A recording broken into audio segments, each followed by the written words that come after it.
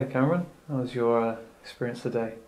So the first one was quite diverse. It went through quite a multiple array of situations where I felt like I was fragmenting in myself and seeing all the different layers in myself and putting me how I can let go of all of that and experience myself in my different layers. And once I could move back, the trauma in my body, which I could sit behind, could then leave, um, which was uh, I just shake a bit and like Yeah, I noticed that. you know stay Make through sure sort okay. that. Yeah, yeah. So there was a lot of that coming out.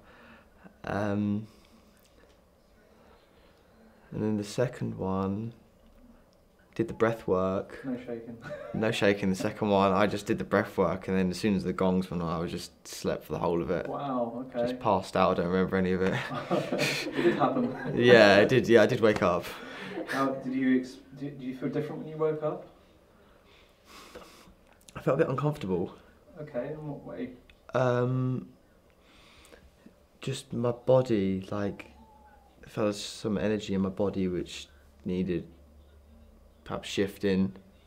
Because I think my whole after this after the first one, I noticed straight away how with my interactions with people, I felt so different. Mm. I felt a lot more present in my body, uh, a lot more free flowing, not as not as stiff and tight. Okay, so you felt lighter and Yeah, a lot lighter. nice. And the second one, the second one also as well. I had to do a, a few like stretches and a bit of breathing after just to clear my energy. hmm And then um, yeah, I felt very present and still. Good. Yeah, Well, well, nice to have you here today and experiencing. thank you. Thank you for sharing. Thanks.